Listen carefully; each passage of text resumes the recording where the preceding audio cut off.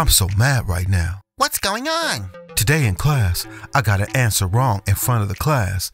And since that happened, Bernard has been telling everybody I'm stupid. That is not right. I know. Did you let a teacher know? I did, but you know how he is.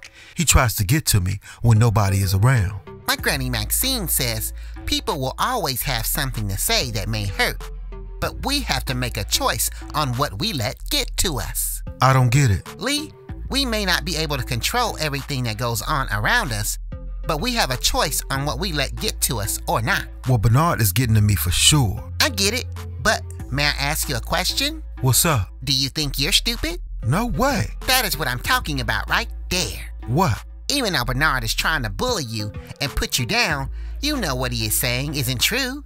Be confident in who you are, bro. Thanks, Franky. I needed that, bro.